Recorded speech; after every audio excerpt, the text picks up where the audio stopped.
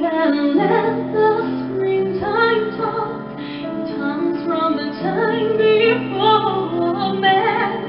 Listen to a daffodil tell her tale. Let the guest in walk out be the first to greet the morn.